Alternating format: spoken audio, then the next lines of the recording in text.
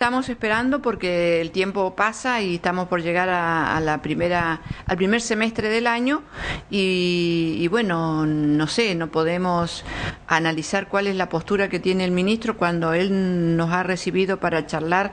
Eh, eh, no en forma formal, siempre en forma informal, nos ha recibido para charlar dos o tres temas pero lo que lo sustancial que se tiene que hablar en paritaria, lo que quedó pendiente, eh, lo que ACHA viene eh, reclamando hace mucho, que es una ley única de trabajo, eh, no se está pudiendo charlar, así que uno quiere pensar que el ministro o le tiene miedo a la paritaria o no tiene que hablar. La insalubridad es algo que ya está planteada en la ciudad de bueno, en la provincia de Buenos Aires y está tratada y, y aprobada en Buenos Aires. Entonces nosotros queremos lo mismo porque nosotros seguimos planteando que el beneficio para los trabajadores de la sanidad va a estar en las condiciones laborales si es que no podemos arreglar las salariales, que eh, tenemos la esperanza de que podamos tener paritaria ahora y, tengamos que plantearle al ministro algunas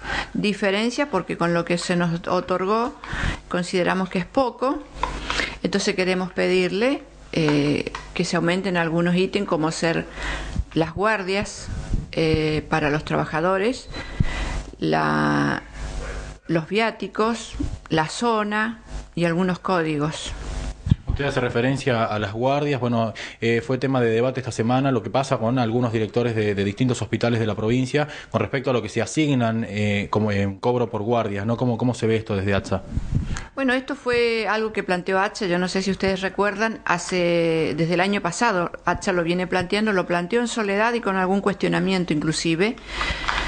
Eh, de otra parte gremial, pero lo que nosotros no hicimos fue dar los nombres de los directores, pero bueno, el ministro sabe cuáles son los nombres de los directores, no necesitamos decírselo por la radio ni por la televisión.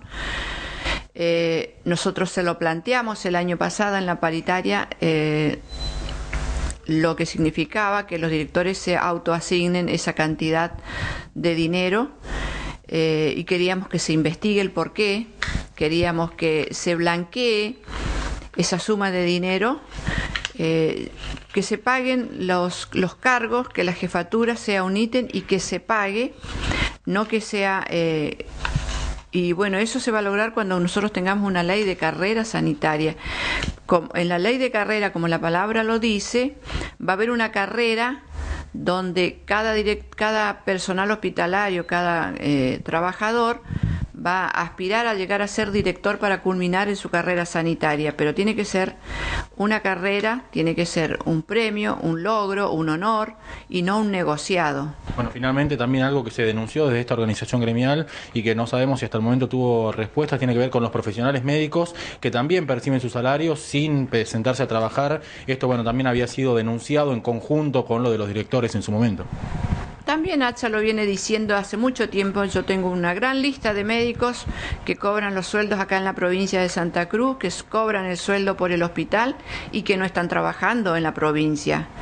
Pero bueno, eh, no, somos, no somos nosotros los gremios los que tenemos que eh, accionar en este caso. Nosotros denunciamos y no denunciamos porque no es una cuestión personal, no es una denuncia personal hacia el médico fulano tal, sino que es tratar de, de poner las cosas en claro y decir, bueno, este profesional está faltando en el hospital y debe venir a cumplir con su función, cada uno debe cumplir la función porque para eso se le paga.